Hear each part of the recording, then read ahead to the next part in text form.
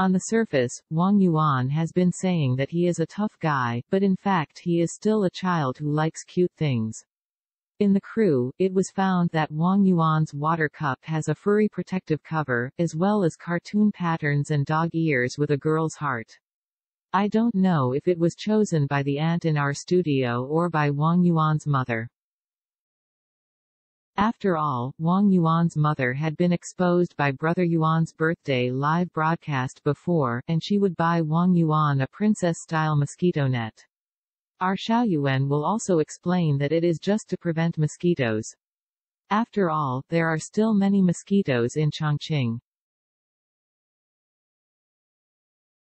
In fact, in the summer, the studio put a knitted protective cover on Wang Yuan's water cup, which is still a young girl's bright yellow, and a small pendant like a flying saucer. Wang Yuan is really being cared for by the studio as a baby. All cute things are arranged for Wang Yuan, and he will also give him enough encouragement at work.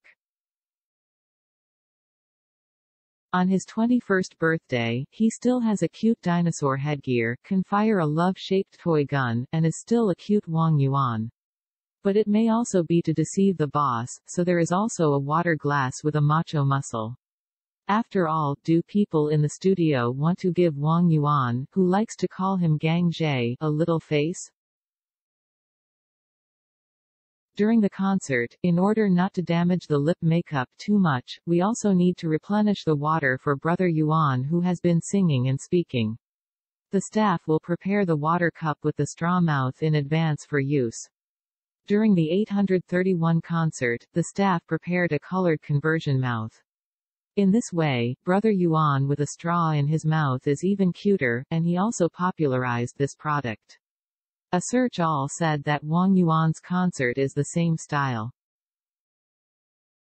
However, most of what Wang Yuan used in private was a very simple tough guy style with deep colors.